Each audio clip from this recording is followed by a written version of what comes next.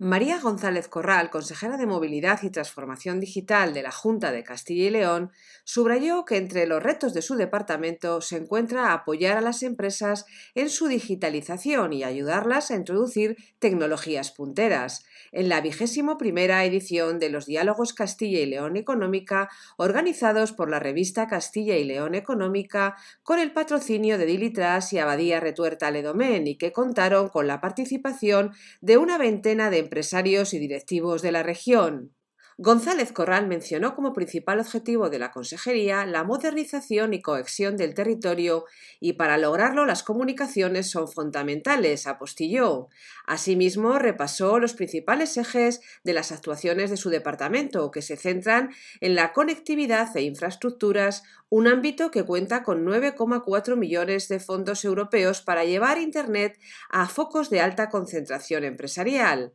competencias y certificación digital, digitalización de las empresas y de los servicios públicos, promoción de las tecnologías de vanguardia e infraestructuras viarias y transporte.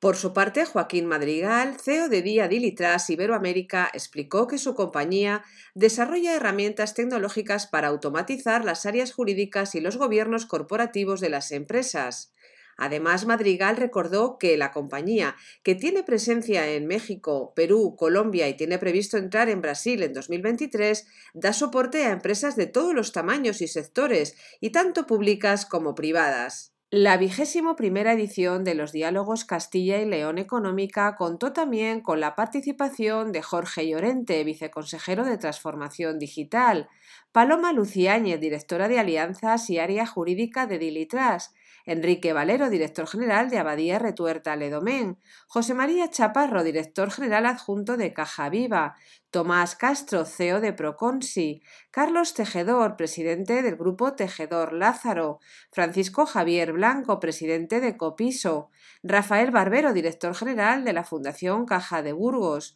Javier Ruiz Urrutia, director ejecutivo Telco Energía Utilities Retail e Industrias de Inetun, Félix Cano, De Lingotes Especiales, Juan Antonio Alanís, vicepresidente de Global Exchange, Ángel García, director general de Industrias Maxi, Fernando Garzo, director de Estrategia y Desarrollo de Negocio de Copsesa, José Ramón Perán, director general de Cartif, Noé Martín, director general de Coyosa, Susana Hernández, directora general de ESI Escuela de Diseño, Luisa Alcalde, socia fundadora de Castilla y León Económica, y Alberto Cajigas, director de Castilla y León Económica. Diálogos Castilla y León Económica es un punto de encuentro entre empresarios y políticos de ámbito nacional y autonómico, con el fin de analizar temas de actualidad. A lo largo de sus 21 ediciones ha contado con la presencia de ministros, secretarios de Estado, presidente y vicepresidente de la Junta y consejeros de la Administración Autonómica.